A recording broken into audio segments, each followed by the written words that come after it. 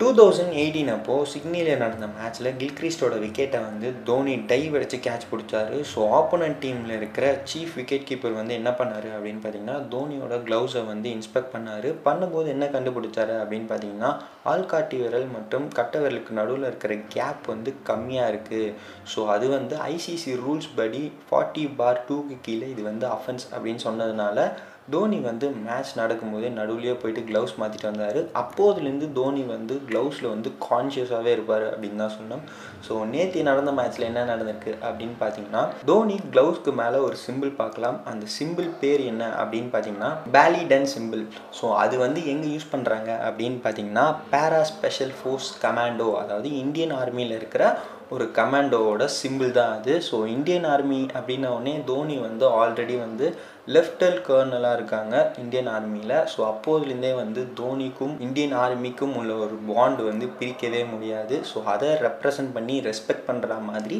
அவரோட க்ளவுஸில் வந்து அதை போட்டிருக்காரு. ஸோ இந்த விஷயத்தை பற்றி நீங்கள் என்ன நினைக்கிறீங்கன்னு சொல்லிட்டு கமெண்ட் பாக்ஸில் கமெண்ட் பண்ணுங்கள் இந்த வீடியோ உங்களுக்கு பிடிச்சிருந்துச்சுன்னா லைக் பண்ணுங்கள் ஷேர் பண்ணுங்கள் மறக்காமல் என்ன சினிமாவுக்கு சப்ஸ்கிரைப் பண்ணுங்கள்